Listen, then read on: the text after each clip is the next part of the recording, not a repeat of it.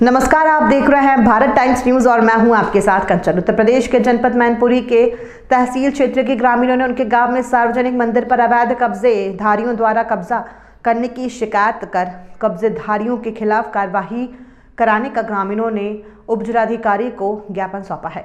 ग्रामीणों का आरोप है कि उनके गाँव के सार्वजनिक मंदिर पर अवैध कब्जेधारी ने कब्जा कर अतिक्रमण फैला दिया है और लोगों को पूजा अर्चना करने पर काफ़ी परेशानियों का सामना करना पड़ रहा है। ग्रामीणों ने अधिकारियों से मंदिर को कब्जा मुक्त कराने की मांग की है।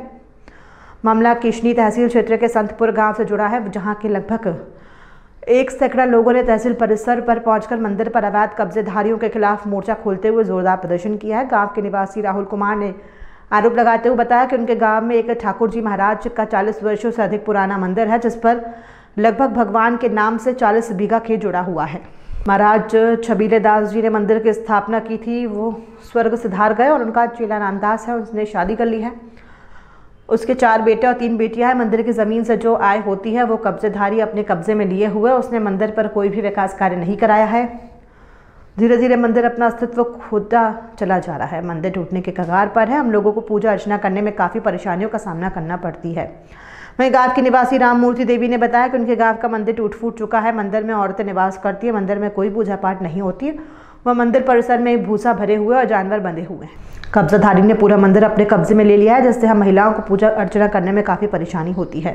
प्रदर्शन करने वालों में श्याम बाबू, राम प्रकाश तुरत सिंह, जसकरण हरनेश सोनेलाल, नरेश, कमलेश, रतिराम, नरेश सिंह, नवरत्न, अनुज, संतोष, राहुल, हुकुम सिंह, विनोद कुमार, अनिल अजब सिंह श्यामल दास योगेंद्र गौरव अशोक अंकित आदि सैकड़ा लोग मौजूद रहे। मंदिर बिल्कुल खड्ड पड़ो कब्जेदारियों ने कब्जा कर लिया है। हाँ।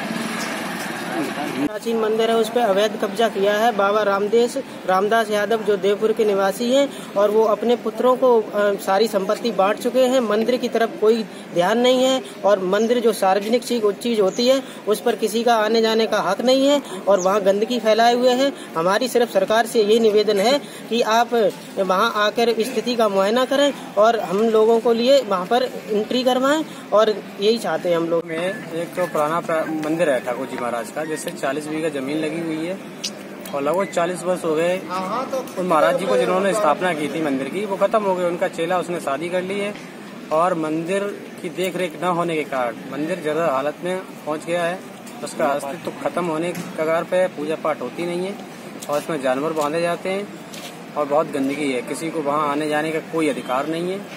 हम लोग इसलिए आए हैं ज्ञापन दिया है कि मंदिर का कायाकल्प और उसे कब्जा मुक्त कराया जाए। मेरी पूजा पाठ नहीं हो तो वही मेरी उड़ाती और बंदर फूटो डरो लला।